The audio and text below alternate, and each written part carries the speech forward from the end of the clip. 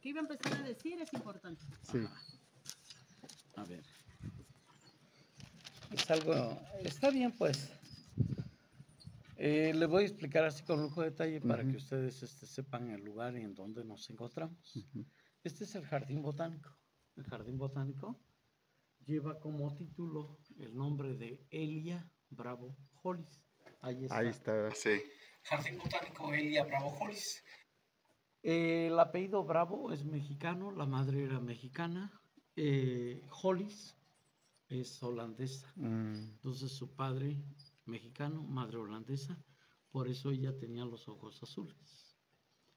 Ella fue la primera botánica que llega aquí a esta región y llegó justo hace, vamos, ya mucho tiempo atrás, 1928-30, cuando no existía el acceso de vía rápida, mm. era solamente una De carretera terracería.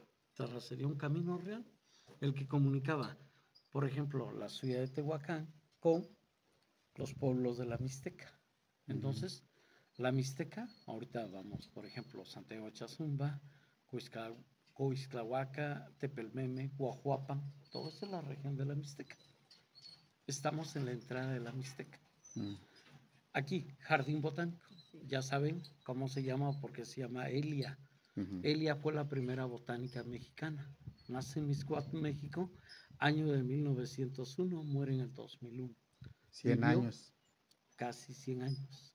Ella como bióloga llegó aquí para hacer prácticas, llevar sus prácticas, y entonces habla en su libro de Cactáceas de México de la importancia de las tetecheras de Zapotitlán, que son estas, aglomerados saturados de cactáceas Mm. columnares. Bueno, ahí está parte porque va, Jardín Botánico. Nosotros estamos aquí. Vamos a dibujar una pequeña crucecita para dar referencia a las cuatro direcciones de los cuatro puntos cardinales. ¿Sale? Todas las mañanas aparece el sol aquí frente a nosotros. A este punto le llamamos oriente porque es para orientarnos. Oriente, poniente. Entonces nosotros aquí le ponemos una O, eh, poniente, una P. Aquí de este lado le vamos a poner el norte y hasta acá le vamos a poner el sur. ¿Vale? Si nosotros estamos aquí en el Jardín Botánico y viajamos una hora sobre este eje rumbo al oriente, vamos a llegar a un punto donde a lo lejos se puede ver una cordillera de montañas. A esta cordillera de montañas yo la dibujo y la interpreto así con una línea. Y esta es una prominencia alta de montañas. Imagínense, la altura de estas montañas es de 2.500, 600 metros de altura. A esta le damos el nombre de Sierra Madre Oriental. Y la Sierra Madre Oriental se empieza a formar aquí, en la Mixteca, atravesando Puebla, Hidalgo, Querétaro, San Luis Potosí, Tamaulipas. Es la Sierra Madre Llega hasta. Nuevo León, ¿no? Monterrey. Hasta Monterrey, así, hasta esa parte. Bueno, vámonos al poniente. Vamos a llegar a otro punto donde podemos ver otra barrera de montaña similar. A esta le vamos a llamar Sierra Madre Occidental. ¿Sale? Tenemos oriental, occidental. Vámonos al sur. Vamos a llegar a un punto donde un día se estableció una cultura como las muchas que hay en México. Aquí, en la crucecita, la región de los Popolocas. La región de los Popolocas, Tepiaca, Tecamachalco, Tehuacán, Zapotitlán, Tepejía Rodríguez. Toda esta región, los Popolocas. Y acá adelante, los Mixtecos. Entonces aquí estamos en la Mixteca, ¿verdad? Mixteca, ahí está. Aquí en este punto hay un lugar donde exactamente adelante de lo que es Santiago Chazumba se une la Sierra Madre Oriental con la Sierra Madre Occidental. Mm, Se le llama nudo mixteco. Aquí, en este punto. El nudo mixteco. Vámonos al norte. Vamos a llegar a otro punto donde podemos ver otra barrera de montañas. A esta barrera de montañas se le llama eje neovolcánico transversal. ¿Por qué? Porque representa a los cinco volcanes al centro de México, que atraviesan el centro de México. Por ejemplo, frente a México tenemos Iztaccíhuatl. Adelante, activo. Frente a Puebla tenemos, aquí está, Popocatépetl. Vámonos a Tlaxcala. En Tlaxcala vamos a encontrar a la Malinche. Si nos vamos a un rinconcito de Tehuacán, a lo lejos podemos ver Pico de Orizaba o Iztaccíhuatl. No, Iztaccíhuatl. Este, ¿cómo, ¿Cómo le damos el nombre? Ciclaltépetl. Es Pico de Orizaba, es Ciclaltépetl. Es la montaña más alta de todo lo que es Mesoamérica. Y luego nos vamos a el estado de Veracruz, Copre de Perote. Cinco volcanes atravesando el centro de México. Por eso se le llama eje neovolcánico transversal o decir cinturón de fuego. Entonces, estamos en medio de una topografía abrupta en torno a nosotros.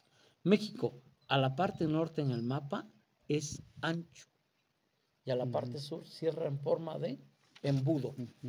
Entonces vamos a dibujar dos líneas, ¿sale? Aquí, una línea que da forma a una media luna al Golfo de México.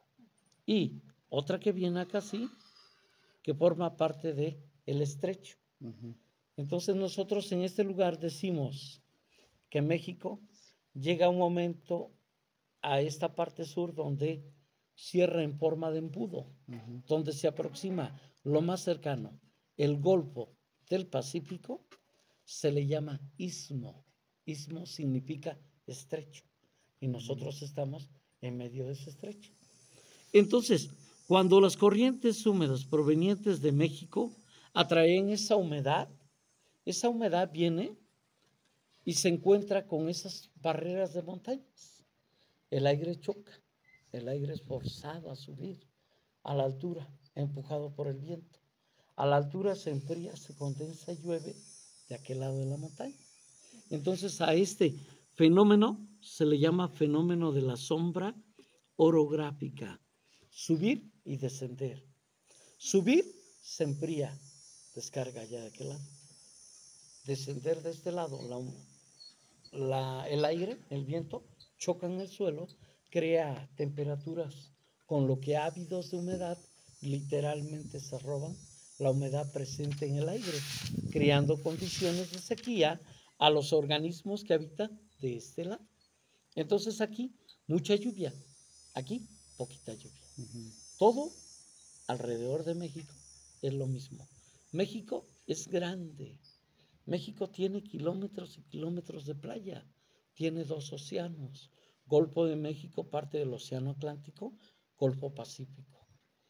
Y México tiene y reúne todos los ecosistemas, excepto la tundra, que es el hielo. Pero aquí tenemos todo.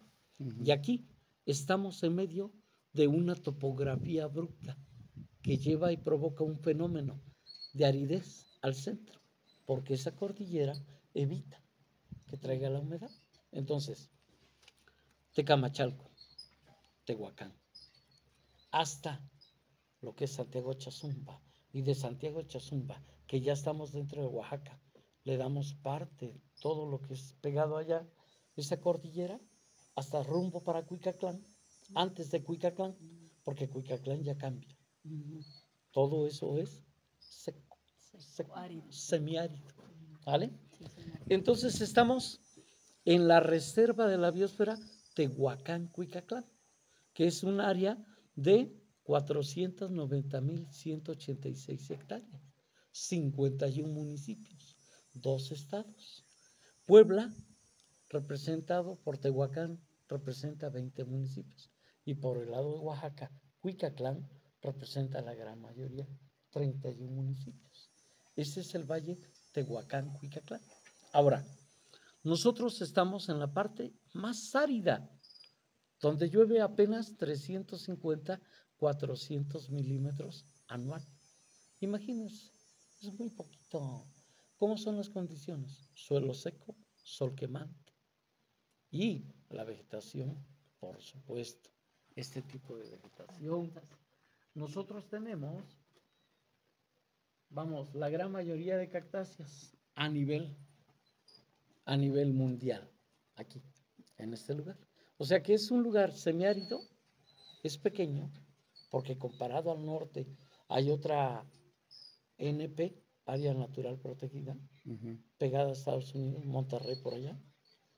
Entonces dice que ahí son 10 mil hectáreas, aquí es medio millón. Pero en este medio millón hay y existe biodiversidad, 3.000 especies de plantas vasculares, lo que en aquel lado van a ser 2.500. Entonces, ¿qué quiere decir? Que este lugar representa a todos en el lugar de los lugares áridos. Representa es el número uno porque hay mucha biodiversidad. Aquí, 3.000 especies, de las cuales el 22% son endémicas, exclusivas del lugar donde nace. Entonces solamente en ese lugar las vamos a tener. Entonces imagínense la biodiversidad de flora y fauna que hay en este lugar, reptiles, serpientes y demás. Entonces estamos en un lugar semi-árido, en el valle de Tehuacán, Cuicatlán. Y aquí nosotros les decimos lo siguiente. Un día a este lugar llegó una cultura y esta cultura se establece acá, en este lugar semiárido. Y yo digo, ¿qué, qué razón importante habrían encontrado para establecerse aquí? Y digo yo, habrían encontrado porque la verdad es difícil poder decir que llegaron aquí, encontraron el Oxxo de la esquina, el supermercado, el hospital, nada, nada. Y ellos así decidieron establecerse. Razones porque encontraron yacimientos de agua salada. O sea que en este lugar hay agua salada, estando tan lejos del Golfo, del Pacífico, y nosotros en este punto, agua salada. ¿Por qué? Porque un día este lugar estuvo comunicado bajo el agua. El Golfo y el Pacífico se unían entonces las condiciones eran acuáticas. Y entonces este lugar contó con las condiciones de vida marina cuando las placas tectónicas chocan. A ver, aquí está. Yo dibujo un cuadro. Este cuadro es el continente americano. Si nosotros dibujamos una cruz en medio, se ha dividido en cuatro partes. Ahora, esas cuatro partes son placa tectónica Pacífico, placa tectónica norteamericana, placa tectónica del Caribe, placa tectónica del Cocos. Nosotros estamos aquí en México y aquí, en esta parte, quiero imaginar que la línea de la unión de las placas continentales aparece así. Entonces llega un momento donde está Guerrero, Oaxaca y Puebla. Y aquí, cerquita de, hay un puntito, la cual representa a la quinta placa tectónica. La quinta placa tectónica, la placa Rivera, la que se intercala en medio de esas placas tectónicas gigantes y provoca que las placas choquen y la corteza terrestre se invierta. Y entonces era así y pasaba el agua, pues se expande, se levanta y aparece Golfo Pacífico desde tiempos de la Pangea, ¿no? Entonces esto es el Triásico, Jurásico, Cretácico, estamos hablando de la era del Mesozoico. O sea que lo más reciente que existió agua en este lugar fue hace 65 millones de años atrás. Por eso entonces las condiciones de la vida marina, por eso encontramos en vez de rocas, encontramos fósiles. Y esos fósiles son chiquitos, con forma de tornillo. A eso se les llama turritelas. Y a los más grandes, nerineas. Hay unas trigonias, almeja extinta del Triásico. Hay tantas cosas. Hay turritelas, nerineas, trigonias, corales, amonites, trilobites, huellas de dinosaurio. Todo esto lo encontramos en este valle. ¿Vale? Santiago Chazumba. Ahí. Y saben algo bien importante. Muchas veces nosotros explicamos esto porque es importante, ¿verdad? Pero cuando hay la oportunidad y las personas que tienen el interés de saber, los que no, ¿Esto se les hace aburrido? No, venimos a caminar, vámonos. Así, ¿verdad? Sí, lamentablemente. Pero miren, aquí está, una línea y otra línea. ¿Qué representa esta línea y esta línea? Aparentando el techo de la choza, de la casa. Entonces, si nosotros salimos del puerto de Veracruz y venimos subiendo para acá, venimos por Córdoba, Nogales, Orizaba, Ciudad Mendoza, Tehuacán, ¿cómo venimos? De subida, subiendo de allá para acá. Pero si seguimos avanzando hasta Santiago Chazumba, vamos a llegar al punto donde la lluvia cae y se separa. Ahí el agua corre de aquel lado y esa barranca que atraviesa Santiago Chazumba, los agüehuetes que lleva por ahí para allá, ya conduce al agua para el Pacífico. Va sobre la cuenca del Balsas rumbo al Pacífico. Y de este lado, Santiago Acatepec, el agua corre para, por Zapotitlán, para el Golfo de México. Entonces es bien, la ubicación geográfica de Santiago de Chazumba es importante. A nosotros nos da muchas cosas para poner de ejemplo, pero muchas veces la gente no lo sabe. Entonces, aquí está Santiago Chazumba. Y Santiago Chazumba, vamos, es el parteaguas de la lluvia. ¿Vale? Ahora, quiero decirles que en este lugar, nuestro dicho dice que para que un mixteco o popoloca sobrevivan, un costeño muere. ¿Por qué? Porque cuando hay huracanes, depresiones tropicales, el Golfo o el Pacífico están inundados. La gente de la costa sufre. Ujú. Se los cargó el payaso a ellos. Y a nosotros nos vino bien. Nosotros estamos aquí. Llegó la lluvia. Señor, gracias, porque hoy fue buen año. Pudimos cosechar maíz, trigo, frijol, calabaza, que es lo que se siembra. Entonces, ¿cómo es la vida? Es así. Pero esto no pasaba con nosotros, eso no pasaba con nuestros antepasados. Nuestros ante- antepasados era gente ingeniosa. La gente ingeniosa, digo yo, todos los pensantes, los que llegaron y se ubicaron y dijeron, ah, aquí llueve poquito, vamos a establecernos, sí, en esta razón, por una razón importante. ¿Por qué? Porque encontraron agua, salada. salada. Y ellos dan paso a la industria salinera usando la sal como una moneda de cambio. Entonces aquí, agua salada. Zapotitlán, Salinas, terrazas con diferentes niveles, semejante a un sitio arqueológico. No es un sitio arqueológico, es una finca donde se produce la sal. Y ahí está la razón, entonces. ¿Por qué? ¿Y por qué agua salada? ¿Verdad? Pero aquí hay algo bien importante. Nosotros en este lugar decimos que la cuna del maíz es la reserva de la biosfera. ¿Por qué? La cuna del maíz y hay poquita agua. Ah, nuestros abuelos, gente ingeniosa, aprovechaban el agua que recorre sobre el río seco, Zapotlán, y que viene de allá arriba, viene de Santiago de Catepec, de por ahí toda esa zona, arrastra para acá. Entonces el agua que viene sobre esa cuenca, ellos hacen muros, cuachustles, diques, presas y retienen el agua. Entonces nosotros viajamos aquí, sobre esta barranca. Vamos a llegar a San Gabriel Chilat, San José Miahuatlán, Calipan, Coscatlán, y ahí está la presa Purrón. ¿Qué es la presa Purrón? La obra hidráulica más antigua de Mesoamérica, con 10.000 años de antigüedad antes de la era cristiana. Imagínense, hace 10.000 años. Nuestros antepasados construyeron esos cuachustles como al tamaño del cerro, aprovechando los cerros, creando un boquete y evitando que el agua fluye, fluya. Entonces lo que se formó fue una laguna. Y en esa laguna almacenaban agua en existencia durante todo el año para poder cultivar el amaranto, el chile, calabaza, tomate, aguacate, el teocincle. Lo domesticaron ellos, que es el maíz prehispánico de Mesoamérica. Por eso, sencillito, Pudo haber agricultura en otro lado, pero aquí nace la domesticación del maíz. El maíz nace, se da. ¿Sale? Nada más así, sencillita. Ujú. ¿Dónde estamos? En la reserva de la verde.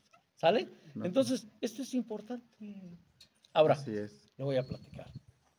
En este lugar, nuestros antepasados se establecieron porque había agua salada, pero al paso del tiempo llega la carretera, 1950, que comunicaba a Tehuacán con Guajuapan. Y luego entonces llegó la luz eléctrica, y con la luz eléctrica, 1960, la gente pone talleres de ónix. ¿Por qué? Porque tiene beta relices de piedra blanca. Y dice el dicho que si el cielo te caen limones, aprende a hacer limonadas. Pero aquí no hay limones. Aquí hay ónix. Entonces hacen artesanías de ónix.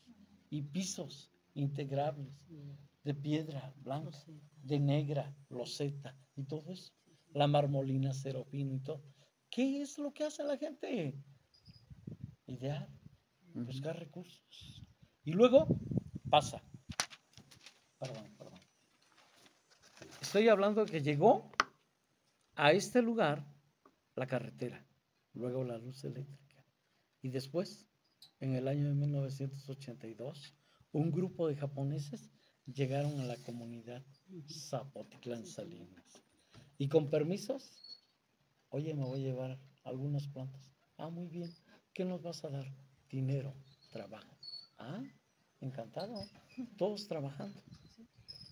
Y frente a la casa de mi abuelita se practicaba el béisbol, justo a la orilla de carretera. Y ahí fue el centro como lugar de acopio para recibir todo lo que llevaban. Plantas no muy grandes, como tres metros, pero con cuidado, con esponja las bajaban, las colocaban sobre plataforma, perdón, sobre cajas de madera que construían al tamaño de, y luego entonces las sellaban y las colocaban sobre las plataformas de los trailers. Y la ruta fue a Colima, posteriormente a Japón. Entonces, ese fue el saqueo de cactáceas más grande que tiene lugar aquí para la historia de decir, aquí fue el saqueo de cactáceas por los japoneses en 1982. Y ya está. Todo contento, todo bien, pero entonces participan tres biólogos, Mauricio Trejo, Fernando Vita, Alejandro Zavala, y proponen en una asamblea, hey, esto es ilegal, esto no se puede hacer. Y entonces traemos un proyecto. ¿Cómo se llama el proyecto? Aquí está la maqueta. Nosotros queremos hacer esto en un área natural donde hay muchos cactus. Y si ustedes disponen, nosotros lo construimos a través de SEDUE, Secretaría de Desarrollo y Protección al Medio Ambiente. Bajamos ese recurso, lo hacemos. Y ustedes al paso del tiempo, pues es de ustedes. Se les va a quedar en comodato por 10 años. Y después de 10 años, vuelve a la comunidad. Y la comunidad lo maneja. ¿Cómo funciona? Una autoridad, la autoridad de bienes comunales, se encarga de esta parte administrativa. Nosotros somos guías. Nosotros no sabemos nada del dinero. El dinero viene y es una pequeña cuota de recuperación, Sí. mantenimiento del mismo. Ujú. Pero claro, si llegan el tiempo de vacaciones, la gente viene mucho. Entonces este jardín botánico aporta en cantidad a la autoridad lo que necesita para salvaguardar todo esto, porque hay que también pagar un precio. Y también, o sea, a México igual, a las autoridades grandes se les paga Un impuesto. a la agraria, principalmente la agraria, ¿no? Que es este, vamos, la- los que se encargan de la parte de decir, delimitar y, y conservar esa parte. También, ¿no? Todos esos gastos. Pero más que nada son los gastos que genera, por ejemplo, la luz eléctrica, el velador, tenemos área de cabañas, han filmado varias películas. Y aquí empieza lo que se llama ecoturismo, la visita de la persona a este lugar. Ujú. Entonces, ¿nosotros qué hacemos? Somos prestadores de servicios. Ujú. Si viene un recorrido en inglés, a un servidor, ya damos el recorrido en inglés. Si vienen, aquí vienen muchos alemanes, Sí. entonces van a empezar a venir los alemanes. Ahorita a final, a medios de septiembre o antes de septiembre, septiembre, octubre, noviembre, diciembre, enero, febrero, marzo, todo el tiempo de invierno se la pasan acá. Entonces, ¿qué vienen a hacer? Si es su ruta, es su ruta de paso. Entonces, ¿qué tenemos? Un rescate. Cuando se hace jardín botánico, es como la casa de la cultura, porque se retoma lo que se estaba perdiendo. Hay una persona de Santiago Chazumba, hay que se apellidan, son profesores, su familia. Ya saben que Santiago Chazumba, puro profesor, Sí. puro profesor. Son, ahí sí, la cuna de los profesores, puros maestros. Pues entonces hay uno, no recuerdo el apellido, se me fue ahorita, viven ahí a un costadito, es David, se llama David el Cervantes. Cervantes. Hizo un libro a Santiago Chazumba, dos libros, dos, donde rescata fotografía y documenta todo. Y hay muchas cosas bonitas en ese libro, muchas cosas bonitas que habla, habla de la cultura. Y entonces cuando me toca a mí, hace un año, el 15 de septiembre en la noche, había unos problemas políticos, parece, pero el presidente me invita y el presidente me hace la invitación para que yo vaya a hacer la exposición de la remodelación del kiosco. Ok, ya lo vimos. Ah, entonces Oh, yo fui y resumí la historia que me decían para cuando yo voy hablando, yo lo voy hablando y lo voy narrando y hago la historia de la inauguración. Y qué bonita su historia. Y decía yo en un punto importante, los mixtecos no eran gente de conflicto ni de choque, eran hombres de trabajo que se dedicaban al 100% al cultivo, a trabajar. Entonces, ah, Sonecha, qué bonito, ¿no? Qué bonito que tienen su historia también. Y es un rescate. Entonces yo oh, orgullosamente digo, somos de la Mixteca. Estamos en la entrada de la Mixteca. Aquí somos popolocas. Pero es un apelativo. Claro. ¿Por qué? Porque el nombre verdadero era Ingiba, persona de alturas o en las alturas. Porque habitaban las partes altas. Mm. Así que si nosotros vamos a la cima de aquel cerro que está allí, ese cerro se llama Cutá. Y en el vocablo de los popolocas significa cerro de la máscara. Y allá arriba se encuentra el viejo Zapotitlán, un sitio arqueológico. Ahí se establecieron nuestros antepasados. Y sobre la cordillera hay una tumba con forma piramidal, vestigios del juego de pelota, varios montículos que eran centros ceremoniales, y entonces ellos lo hacen como una medida militar. militar. ¿Por qué? Porque llegar a este lugar y querer invadir y llegar así, someterlos, no, no es fácil. Había que subir, y esa era el- la defensa que ellos tenían. Entonces, increíble. Ahora. Zapotitlán tiene dos significados. Vamos a hablar de la lengua nativa, que es lugar del Señor victorioso e invencible. Así era, difícil llegar y poder atacarlo y esto. Dice que hubo guerras donde muere uno de los descendientes de Martín Chopanaxi, muere ahí a la, a la mitad de regreso con los tepejanos, en la batalla de los tepejanos acá adelante Tepeji de Rodríguez y combatían y pelean por los lugares porque querían venir a tomar posesión. Pero es que este lugar estaba, era rico pues, o tenía un auge. ¿Por qué? Porque la sal valía, valía mucho. Entonces era como una moneda y todo el mundo quería tener. Entonces la pelea dice que se da y muere. Pero después ya llegó, ¿quiénes llegaron? Los españoles. ¿Y con los españoles qué hubo? Nuestros antepasados adoptaron una lengua, una religión, una política, una tradición. Sí. La reubicación. Zapotitlán tiene sus dos iglesias. Y la iglesia blanca que está al centro de cúpula color azul es una de las más antiguas dentro de la diócesis de, Te- de Tehuacán. Es la más antigua, data del año de 1574, antes que la catedral de Tehuacán. Mucho antes. Por eso, esta iglesia es estilo barroco. Cuando entras, aglomerados de saturados de pinturas al óleo o molduras o columnas. Eso es. Tienen su chiste, tienen su historia. Sí. Entonces nosotros decimos que en este lugar es un lugar, vamos, yo, yo lo interpreto así. Zapotitlán Salinas, un lugar lleno de historia, gran belleza natural, gente extraordinaria que en un ambiente difícil, lleno de hostilidad, ah, son el claro ejemplo como los cactus de cómo es posible sobrevivir en este lugar. Es increíble. Entonces yo hago una similitud parecida, cómo se adaptan las plantas para sobrevivir. Eso es lo que yo voy a hacer ahorita en el recorrido, explicarles. ¿sí? Y bueno, hay algo importante antes de que sigamos, porque vamos a estar parados y les voy a platicar esto. Sí. Esta es parte de mi historia. Ujú. ¿sí? Fíjense que mi padre, muy, muy joven, muere. Él muere muy joven, 30 años. Y deja a mi madre viuda con siete chamacos. Y las madres son unas guerreras que Ujú. luchan, Sí. no dejan morir a la familia.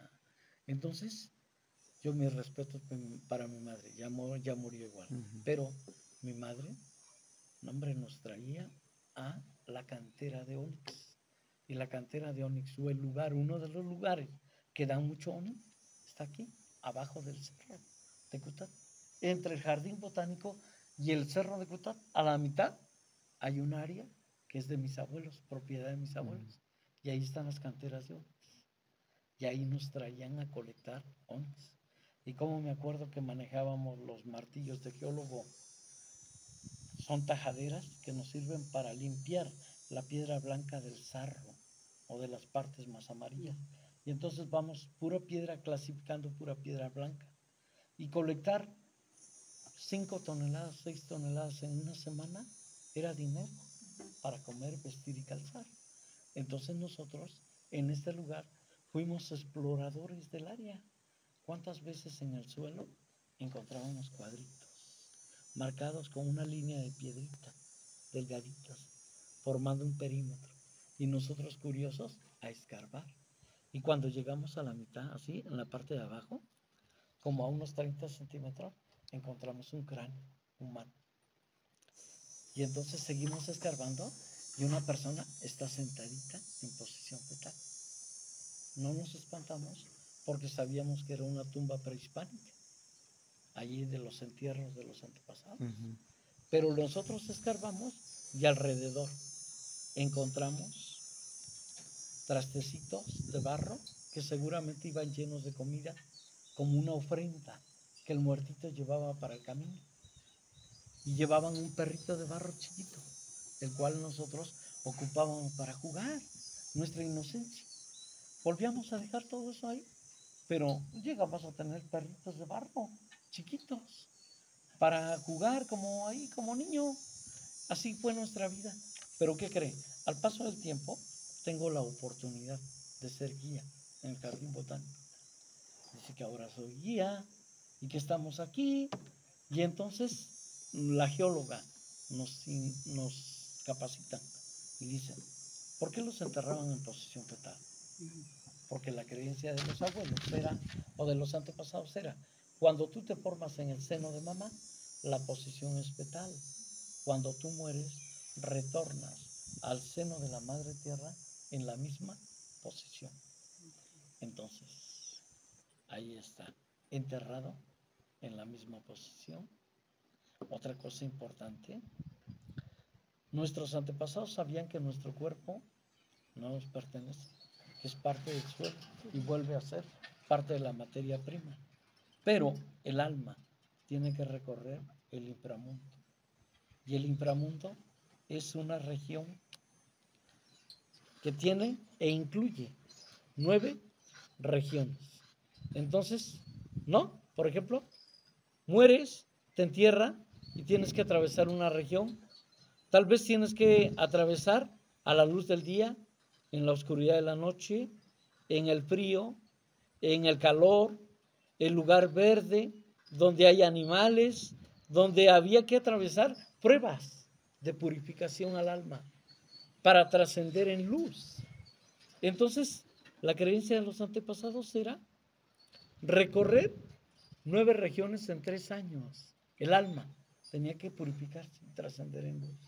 Por eso hoy en día una de las creencias nuestras es que llevamos nueve días de rezos después de muerto, el novenario, repetido en tres años. Eso es algo que se adoptó de la parte, pero esto es como muy nuestro, los mexicanos. Entonces, si los europeos vienen y tú platicas esto, y yo te, ah, qué interesante, ¿no? Ah, ahora sabemos por qué.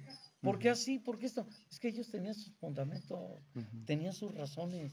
Así como yo le, platica, le platicaba anteriormente, que este lugar no hay agua, pero que ellos la almacenaban y tenían agua en existencia para todo el año, también tenían sus propias creencias y sus rituales después de muerto.